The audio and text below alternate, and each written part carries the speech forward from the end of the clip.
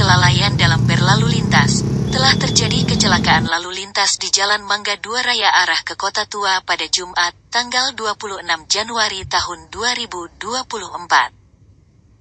Kecelakaan tunggal yang dialami mobil truk box dengan nomor polisi B9077UXD yang bermuatan gulungan kabel ringsek tepatnya di putaran balik halte busway Mangga Dua arah ke kota sempat membuat kemacetan akibat mobil box terguling menutupi sebagian badan jalan.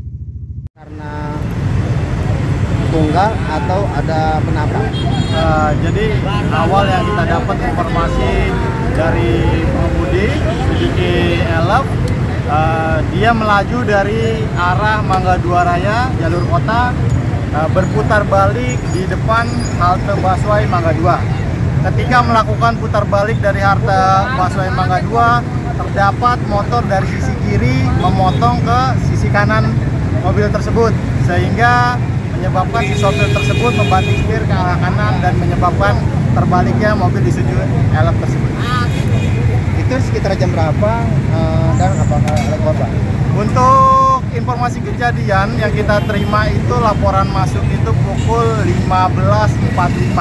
Namun untuk keterangan pengemudi dia terjadinya insiden itu pukul 15.30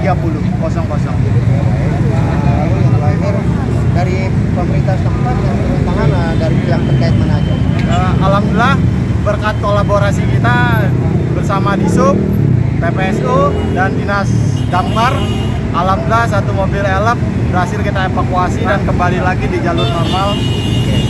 Eh, lalu eh, dengan ada yang terjatuh ini yang kondusif dan rapi itu jangka jaraknya berapa jam atau berapa yang tadi eh, tadi kita proses evakuasi kurang lebih memakan waktu satu jam. Karena terkendala akses ya jalan ya karena masih banyak eh, jalur ini dilalui pengemudi pengendara-pengendara kebetulan sore hari ya hari Jumat tersebut jadi agak terganggu juga dengan pengemudi.